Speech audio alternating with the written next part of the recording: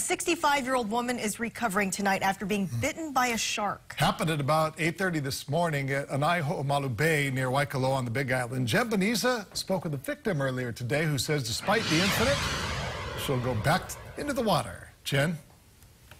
Dash officials say the bite was 12 inches long. I spoke with the victim, Kimberly Bishop, after she got out of surgery. Now, she was bitten on her upper thigh. Says she's doing okay. And she tells me it happened while she was kayaking. Kimberly Bishop and her husband, Kim, were kayaking in A Bay this morning, something they've done many times before. The water was really clear, so I could see in front of me. There was nothing in front of me. We could see all the way down. That's when she says something bumped her kayak. Something came from behind, knocked over the kayak, and bit my leg. She knew she'd been bitten by a shark and yelled to her husband for help. I saw the fins in the water, and I immediately um, paddled as fast as I could to get over to her. She was able to get back into her kayak, and they called for someone to help them.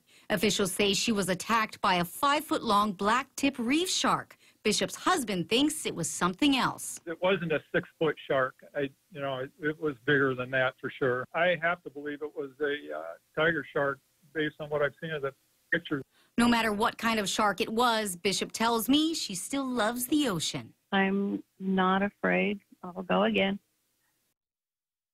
Bishop and her husband split their time between California and the Big Island, and she was also in very good spirits when I spoke to her. She tells me once her leg heals, the scar will make for a great story.